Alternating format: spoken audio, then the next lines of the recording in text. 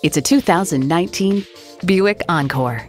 Your journey to the urban jungle awaits, and this SUV is well suited for the adventure. It's well equipped with the features you need.